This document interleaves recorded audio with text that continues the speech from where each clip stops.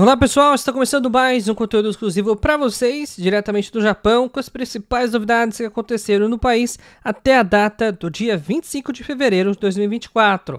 Hoje a gente vai acompanhar dois casos de esfaqueamento que aconteceram no país, um deles com vítima fatal e o outro com uma situação muito crítica. Hoje também a gente vai falar sobre o caso de atropelamento que aconteceu nas redondezas de um templo em Nara.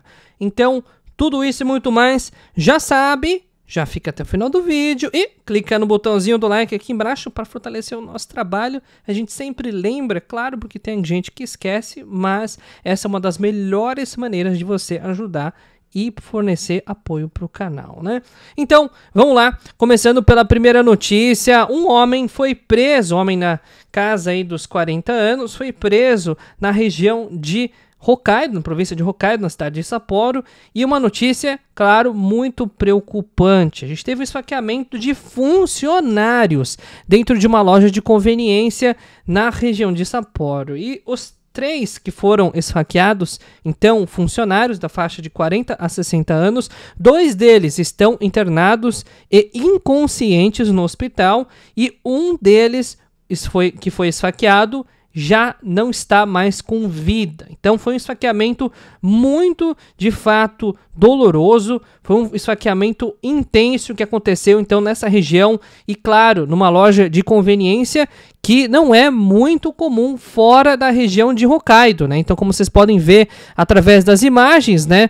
Já a, a, a loja de conveniência que a Seiko Mart, é de fato uma rede que é bastante conhecida lá, mas não muito conhecida mais na ilha principal, na região, na proporção principal do Japão. Então, a situação, claro, de tipo de esfaqueamento é muito perturbador. A gente tem que dizer que realmente é uma situação triste que aconteceu. E lembre-se, né? Tem muita gente que está se perguntando, ué, mas esse tipo de coisa não acontecia antes?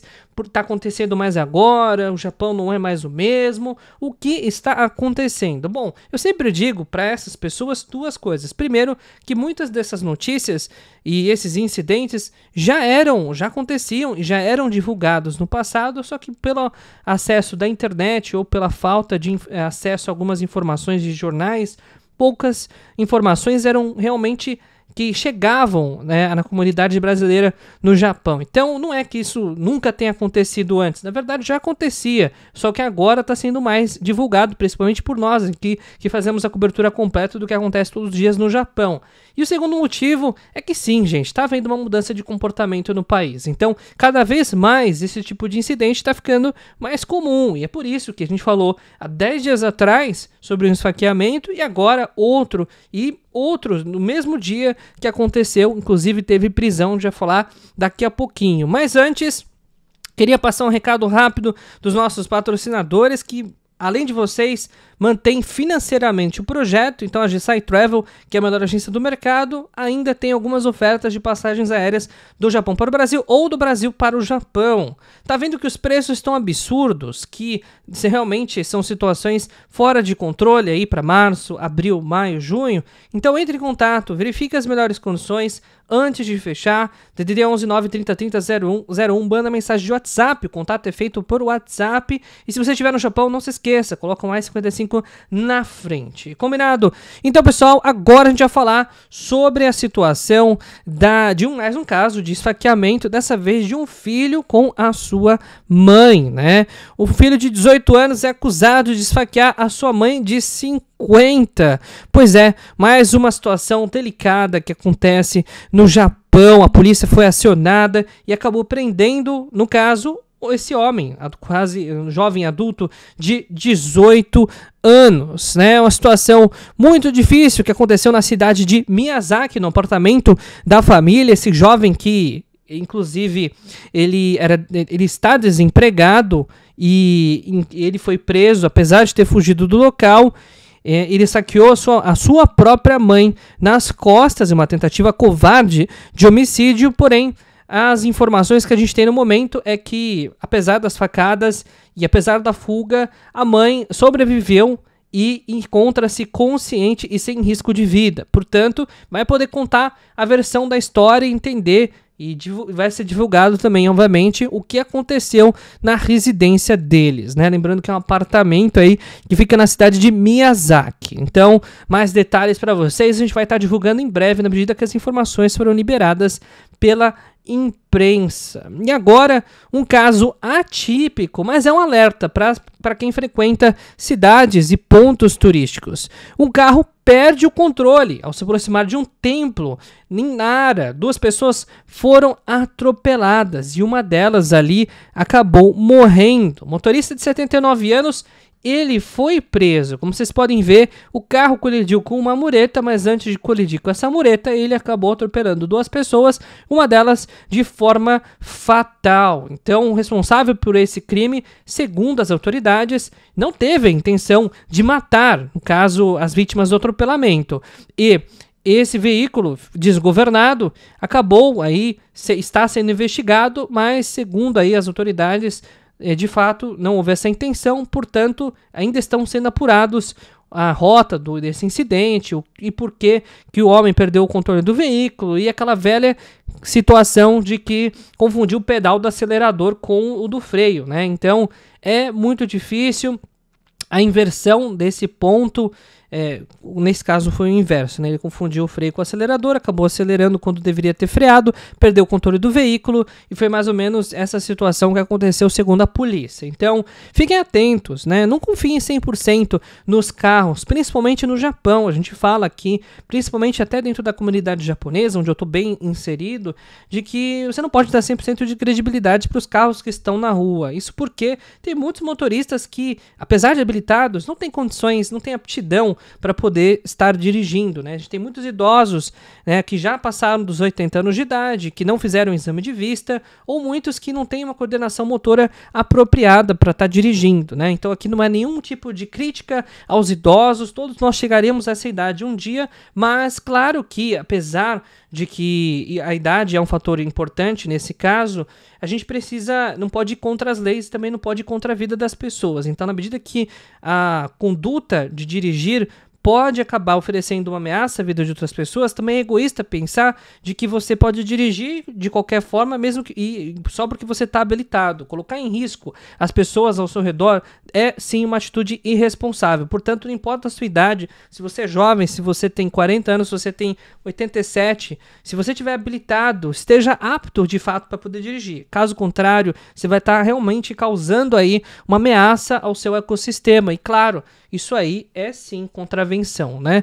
Então, a gente vai falar agora sobre um caso é raro, mas é também é outro alerta aqui para muita gente que acaba frequentando pontos de escalada, é, regiões montanhosas, por exemplo, é, proximidade de Monte Fuji, é, rochas podem acabar caindo, né? Ou se, se, se desconectando do, do, do, do, da região mais alta da montanha e, consequentemente, caindo, né? Sobre as pessoas que estão lá embaixo ou que estão mesmo caminhando. Foi o que aconteceu, né? Duas pedras do tamanho da cabeça de uma pessoa se deslocaram praticamente do pico de uma das montanhas do Monte Ibuki, em Shiga, no dia 24 de fevereiro, mais conhecido como ontem, e essas duas pedras atingiram algumas pessoas e uma delas acabou morrendo por conta disso. Então é um, mais um ponto, mais um aspecto.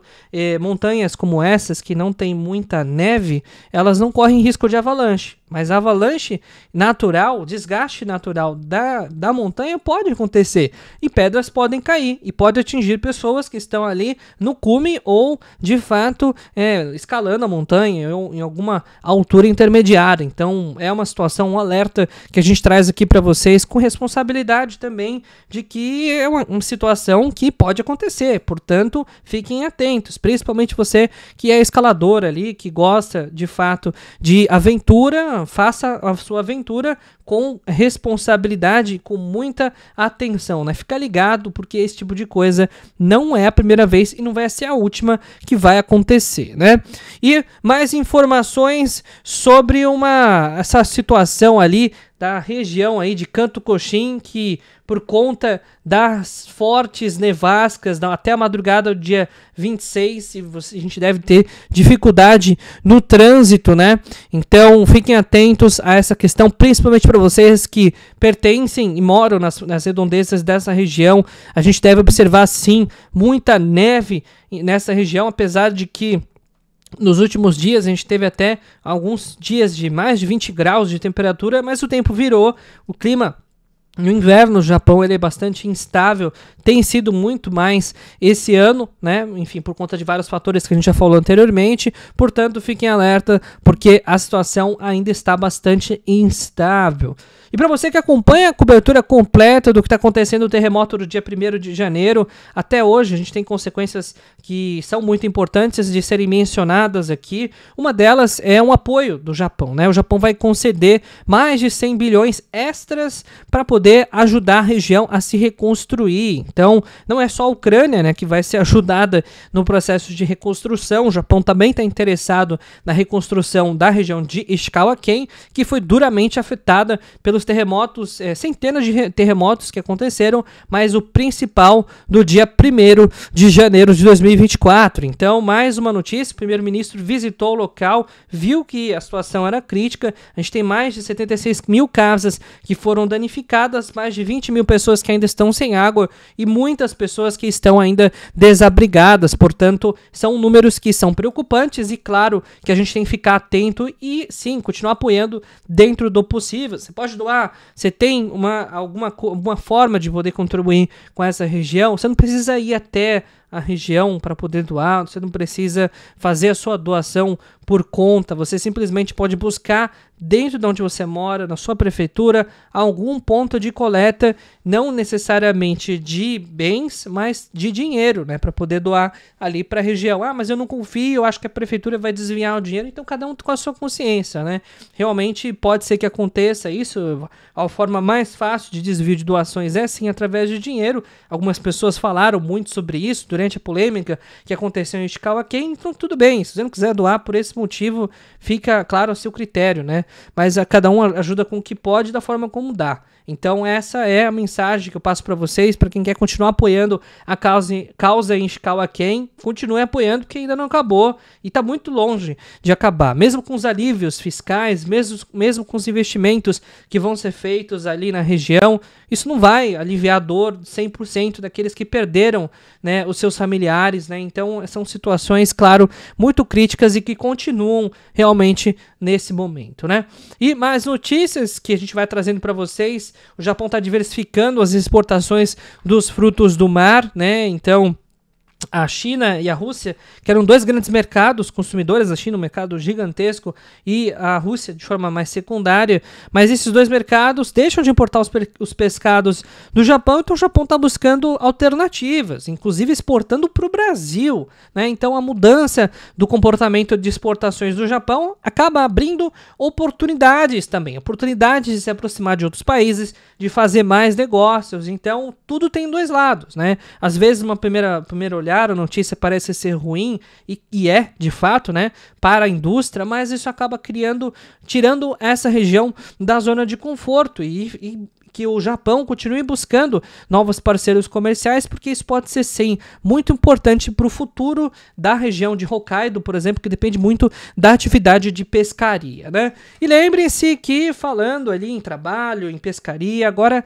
a gente tem essa questão de empregos no Japão para descendentes de japoneses, e você que tem reentre na mão, quer conversar com a gente, então vem falar com a gente. Manda mensagem aqui no DDD 11 930 30 0101 no WhatsApp, se você tiver reentre para voltar para o Japão sem pagar ah, com custo zero, tem oportunidades em componentes eletrônicos e também tem é, oportunidades com incentivo de passagem na região de ITK. Então, conversa com a gente, manda mensagem no WhatsApp, confia no trabalho que eu estou conduzindo aqui há quatro anos e também defendendo as cores da no mesmo período, né? Então, pessoal, a gente vai ficando por aqui no vídeo de hoje. Até o vídeo de amanhã, porque todos os dias tem vídeo novo no canal Tudo sobre Japão. Não perca nenhuma novidade que acontece na Terra do Sol Nascente.